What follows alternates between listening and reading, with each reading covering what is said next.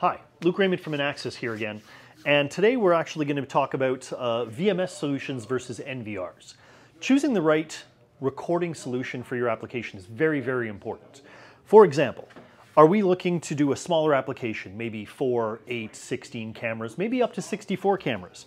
Well, in these cases, for the most part, using an NVR, which is a closed box solution, or a, uh, an HD DVR like this one, where you can actually record the individual channels uh, either with BNCs or with a switch, usually that's good for smaller applications. But once you start to get more than that, once you start to go over about 64 cameras up to 128 cameras or even more, it might be a better solution instead of doing individual box recorders to go toward something a little bit more robust, like a server.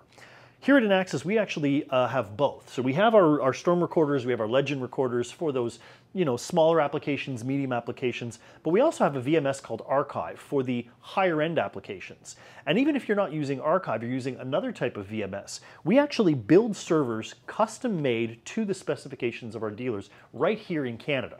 So this is a perfect example of if you want longer term recording, a much more powerful, much more robust recording, and you want a VMS for maybe you know 100, 200 cameras, we can actually build these machines over one petabyte per server, tie multiple servers in together. We actually build them here in Montreal, we test them here in Montreal, we burn them in and make sure they're going to function to the specifications of our customers to meet your needs. So whether you're using our VMS or someone else's VMS, we can custom build these. If you're doing smaller applications, that's where these NVRs come in. So the size of the hard drive is obviously one reason to choose a server with a VMS over uh, individual box recorders. But the other reason is the high level functions you can actually get from our VMS. So Arkiv in particular, uh, there are tons of YouTube videos that we've got on our page explaining how Arkiv works.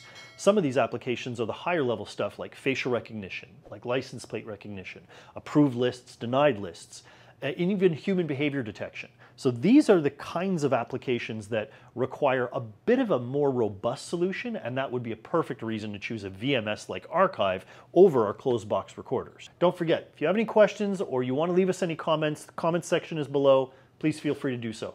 Cheers.